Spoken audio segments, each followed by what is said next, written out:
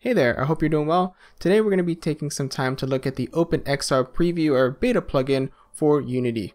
And if you're unfamiliar with OpenXR, what it's ultimately going to do for us is that we're going to be able to have a wide variety of controllers where we can get their input directly within Unity. We're not going to need any additional plugins or anything like that. So if you're going to create an app or a game that's going to be on several different platforms, this is going to make that process a lot easier. And over the past couple of years, dealing with VR input in Unity has been a little awkward. Uh, depending upon what version you were using, what headset, what platform, it was very specific and it was very difficult for someone who was just getting into VR to figure it all out. So obviously we'll be going over OpenXR, how to set it up, and how it interfaces with Unity's XR plugin manager. But we'll also take a little bit of time to look at actions as well as take a little bit deeper dive into input to actually using some values within our interactable objects.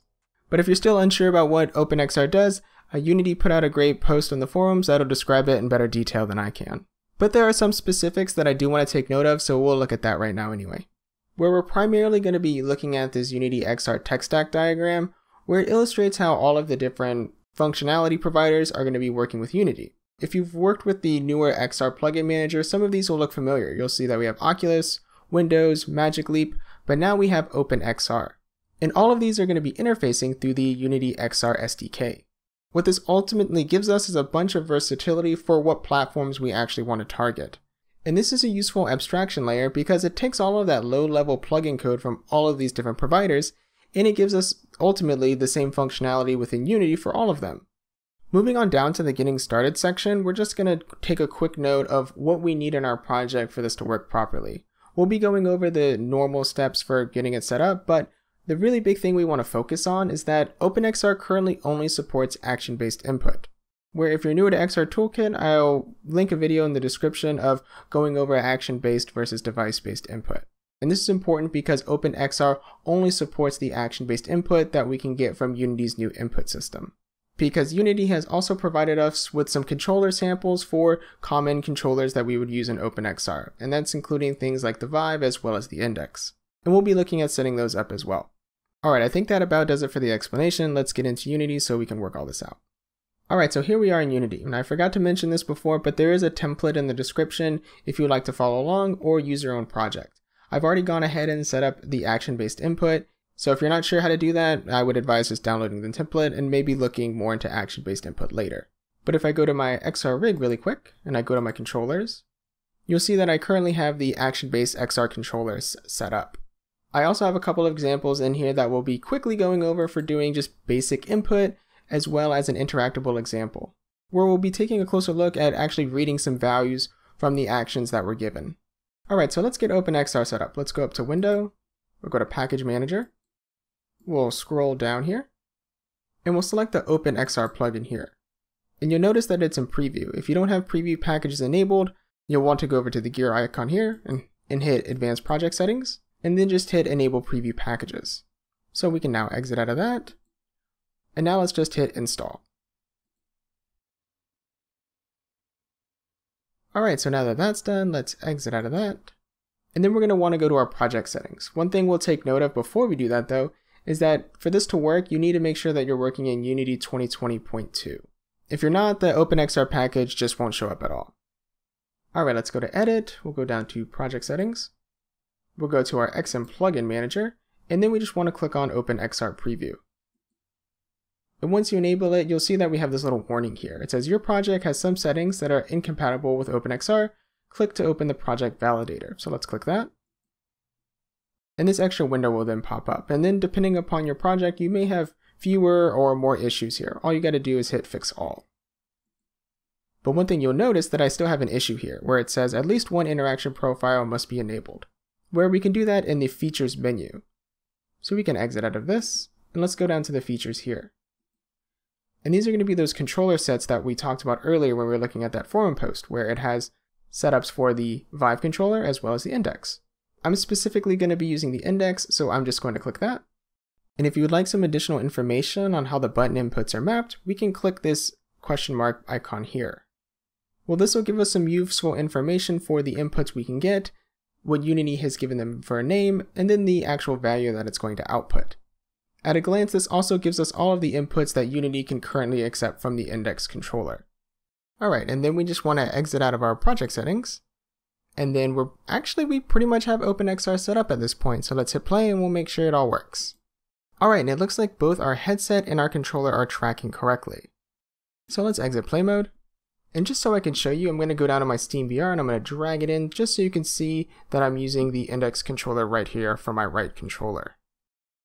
And if you want, you can take a second to look at this input example that I wrote, where it's going to specifically reference the activate action of the right hand. And if we select this really quick, it's going to be the one that's going to be included in the sample set. This script is going to have an example for subscribing and unsubscribing to the pressed, the released, as well as the perform function for getting any time there's a value difference. And this is just really here if you're curious, but also to test out if your input is working. What I'm going to be talking about a little bit more in this video is the interactable example, where this is going to be a grabbable object that we can pick up and when we pull the trigger, we're going to be getting that trigger value and applying it to both its scale as well as picking a color along a gradient. So let's close our sample folder, let's go to OpenXR, go to our scripts, and I'm going to open up this interactable example script where kind of like I said before, we're going to be taking a closer look at actually reading some different values from our input actions. Because despite that previous input example that I showed you, when working with input, it's usually good to work with the actions that we've already been given, because I can imagine it can be really difficult to sort of manage trying to get extra inputs into a particular interactable object. So this is just a brief example of that. The first thing that we're going to be doing is setting up our variables. We're going to have one for a public gradient so we can change the color of the object depending upon how much we've pulled the trigger. And then we'll have a reference to its mesh renderer. We'll then be getting the mesh renderer in awake. And then whenever this interactable is processed, we're going to check to see if it's selected. And if it is, we're also then going to check to see if it's going to be the dynamic update, and we're going to be updating the mesh. Moving on down to that update mesh function, we're going to need to first jump through a few hoops to check to see if the controller is action based. We're going to want to get the value of the action and we're going to be specifically passing in the activate action of this current action based controller. Once we get its value, we're going to be using both the apply gradient and apply scale functions and just passing that value into it. Which, that's all pretty self-explanatory. The somewhat trickier part is dealing with the action-based controller, so let's move on down to that. Where we can use the object that's selecting this interactable and we can cast it to see if it's an XR base controller interactor. And this is because the base controller is sort of the lowest level that's going to have all of the functionality we're going to need. We couldn't just use a basic interactor because it doesn't have the necessary inputs.